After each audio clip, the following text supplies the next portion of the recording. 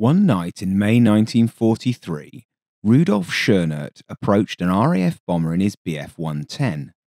Guided by radar, he would typically have made this attack from directly astern, where the Lancaster, Stirling, and Halifax had relatively weak defensive armament. But today wasn't a typical day. Schönert had been experimenting with an alternative idea for two years, and now, as the leader of his own squadron, he was going to try it out. His Bf 110 had been modified with a pair of MG FF 20mm cannons placed in the rear fuselage, firing upwards through two holes in the canopy glazing. Schönert was thus able to approach his quarry unseen from below. Most British bombers lacked a ventral turret, and those that had one gave the gunner a very limited view. A short burst from the cannons, delivered from close range, was all it took to send his quarry down in flames. Schönert's tactics were not new. Upward firing guns had been a feature of early attempts to attack Zeppelins on their occasional sorties over the UK during the Great War. Based on those experiences, the RAF had spent the interwar period attempting to procure an interceptor able to employ such tactics, passing over cow gun armed biplanes and eventually procuring the Boulton Paul Defiant. But Schönert made the idea work in practice. Conversion kits were issued to other night fighter squadrons using the Bf 110, Junkers 88, and Dornier 217.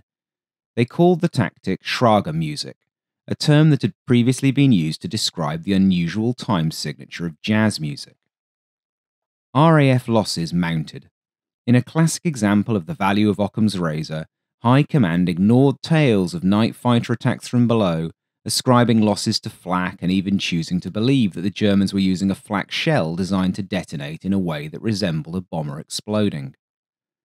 Only the fact that the tactic was difficult to employ and only a few pilots mastered it saved the RAF from much worse losses.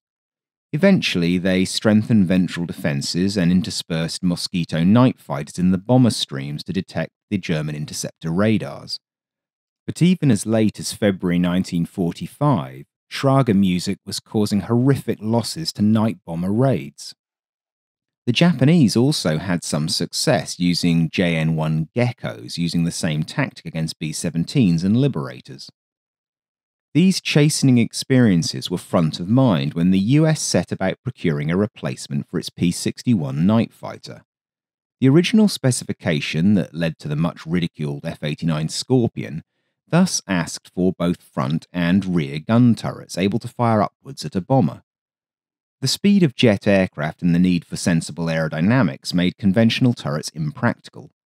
Therefore, Northrop's proposal incorporated a gun mounting with the point of rotation near the muzzles and the guns describing an elliptical cone of fire. Northrop's forward turret mounted four T 31 20mm cannons with a plus or minus 15 degree angular travel in the vertical horizontal planes. The rear turret was of similar configuration, with angular travels of plus or minus 15 in the vertical plane and plus or minus 13 in the horizontal. Automatic gun laying equipment was provided, with the antennas for the radars mounted at the extreme front and rear of the fuselage, adjacent to the gun muzzles. The tail turret was eliminated in a September 1946 specification change, but so central was the nose turret to the Army Air Force's requirement that Northrop made a separate XP 89 nose turret mock up for inspection. The four 20mm weapons were mounted on a central structural carriage with a radar fire control system amid the guns inside the turret's forward ball portion. The breech end of the gun carriage was mechanically moved within the nose structure to provide that 30 degree cone of fire. This concept was an organically developed Northrop design, and it's separate from the Martin turret installed on a later F 89A.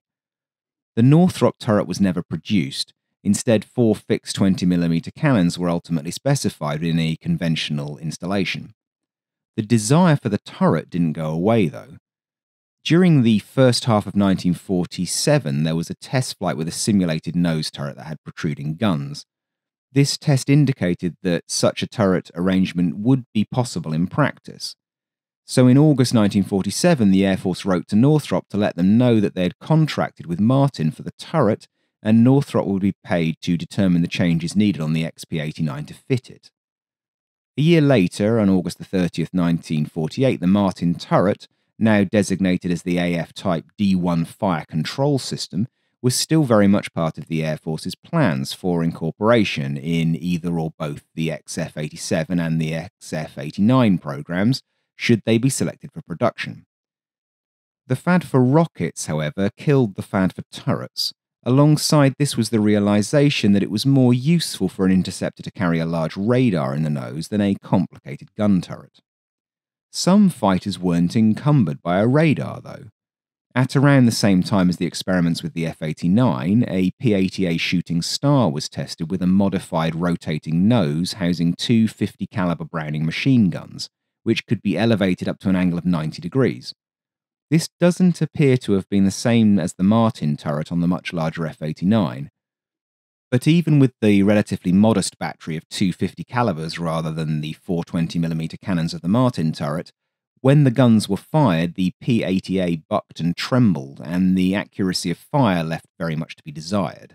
The idea was therefore abandoned. Turret experiments in the US were not restricted to bomber interception. Despite all of the benefits of jet propulsion, one of the drawbacks of jets was the speed at which engagements took place. The faster pace of combat meant that pilots had a shorter time window in which to use their guns to engage enemy aircraft. Although much research was underway on the development of guided rockets and missiles, such as the GAR 1 program in the Air Force and the AIM 9 Sidewinder, forward firing cannons were still the primary air to air weapon of the day. The Navy therefore wondered whether what was needed was some form of turreted cannon that could rotate with the passing aircraft and confront it in what was essentially an off bore sight engagement, much like the turreted guns of bombers. As a result of contracts that had been set out in mid 1949, experiments were conducted with an Emerson Electric Quad 50 caliber turret gun mounted on an F9 F3 Panther. The four guns were supplied with 1,400 rounds of ammunition. The turret enabled the pilot to aim his four guns in any forward direction plus 20 degrees behind the vertical. The turret was more of a revolving nose cone that could rotate 360 degrees and then the guns could traverse back 20. It was quick reacting, being able to roll 100 degrees per second, and the guns could traverse at 200 degrees a second. A small analog guidance computer was installed and it could aim the guns in a 5 degree cone at the target while applying the appropriate lead. Grumman and Navy pilots flew the modified Panther, but not in dogfight situations. It therefore wasn't clear whether the system would actually work in a combat setting. Furthermore, the turret and the computer were heavy and bulky. The computer was the size of a range cooker, which meant that it occupied a large proportion of the rear fuselage and left no space for anything else. It also couldn't make eggs or any other snacks for the crew. The 19 pieces of equipment associated with the gun and the turret added £100 to the Panther's all up weight. With the Sidewinder making progress at White Sands, the Panther turret went nowhere. Designers in the Soviet Union had also come to the conclusion that high speeds would make it hard to hold guns on a target for long enough to achieve a kill. In 1951, MiG trialled such an arrangement on a MiG 15, but tests showed that it didn't work effectively because the standard forward fuselage was retained and thus elevation angles were too restricted. The MiG OKB didn't give up on the idea, although their main idea seems to have been to use the movable gun system for attacking ground targets rather than in a dogfight situation. With their MiG 15 well into production, they had another try. This aircraft had a completely redesigned nose, which removed the Fresco's prominent nose intake, replacing it with two small lateral intakes.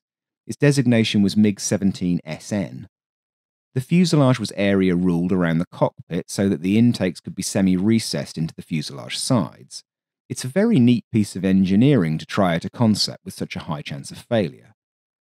A streamlined nose housed the guns and associated mechanisms, and it lengthened the aircraft by three and a half feet. At its very tip was a Stork radar to provide aiming directions and an SRD 1M gun ranging radar. They were linked to an ASP 4NM optical gun sight. Changes didn't end with the nose and the intakes. The canopy was also re engineered from scratch to improve visibility and reduce drag. The main gear doors had to be changed because of the new fuselage contouring, and inside them the main wheels and brakes were strengthened. Somehow, space was found for an additional 11 gallons of fuel as well. The 1,033 pound cannon installation was developed by N.A. Volkov, who had also developed the original weapons pallet for the MiG 15. It could elevate 27 degrees and depress 11, and it contained three Makarov AM 23 23mm cannons, each with 1,250 rounds per minute fire rate. They were mounted asymmetrically, with two on the port side and one on the starboard. The system weight broke down as 314 pounds for the elevating mounts, 258 for the guns, and 304 pounds for the ammunition. The rest was control and other equipment. The pilot controlled cannon elevation by turning a knob on the throttle, the same system that had been used on the initial MiG 15 experiment. All of these modifications took time, and it was only in February 1954 that the gun system was ready for state trials.